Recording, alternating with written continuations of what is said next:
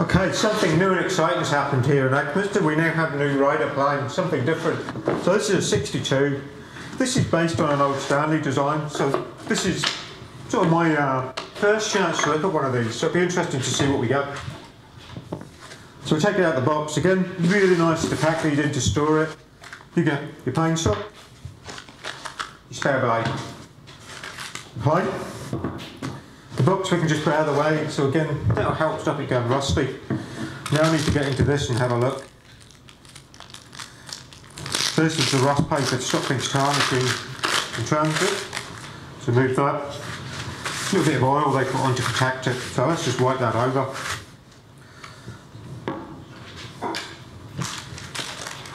So what actually is it? In theory, giant block plane, much bigger. So we take a little rubber, Similar sort of thing. So the blade on these is set at a low angle. This is about 13 and a half degrees, much lower. So the body, with all the planes that we do, is that high ductile iron. That's very durable, so it won't tend to break or crack.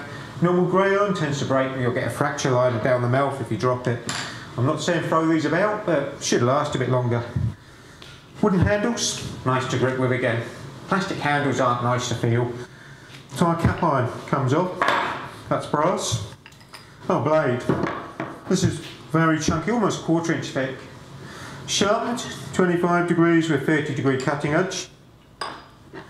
Major bit of the plane then, let's have a look. We have adjustable mouth, so we undo the knob. A bit like on all the block planes, we can open and close this to have more support around the shaving. Stop the tearing. Inside the body, nicely machined area to hold that blade in. Adjustment wheel, blade goes in. Let's just have a quick look on this. That feels pretty good. The only thing I might do, straight out of the box, let's give it a light hone. Just over on the lever.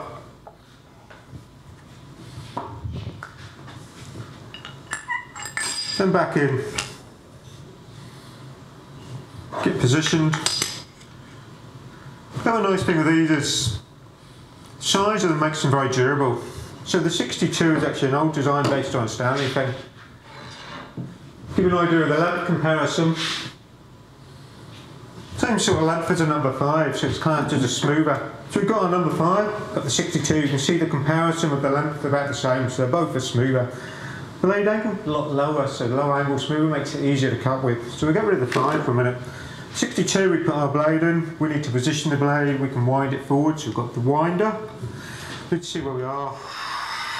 That's a cut straight out of the box. A bit heavy, let's come back a bit. Another thing I might do, go back to our little setup block. So we're at the moment cutting on the right hand side, we're not cutting on the left. There's no lateral adjustment on here, so we need to, a bit like tap with a hammer. A little bit more, still cutting the left hand side. Just pinch that up.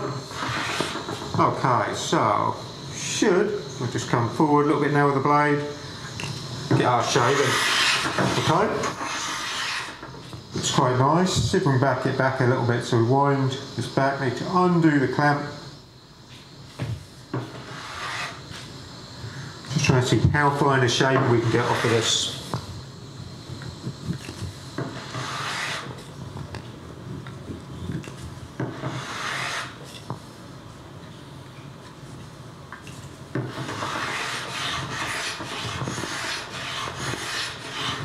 let's have a look then pretty much there. as we said, this is pretty much like a giant block plane. With the blade being set to that lower angle, makes it easier even to do what I'm doing now, planing down the grain. Would it be in like a big block plane? We can go back to shooting board techniques. We can play with our grain.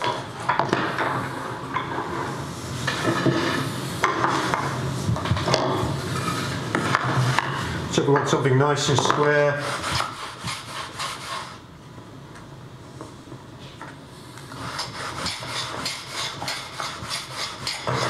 We can play it across the grain.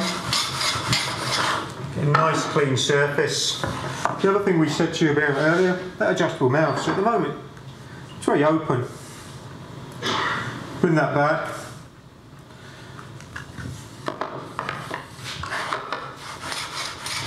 That'll reduce the amount of tearing off the wood.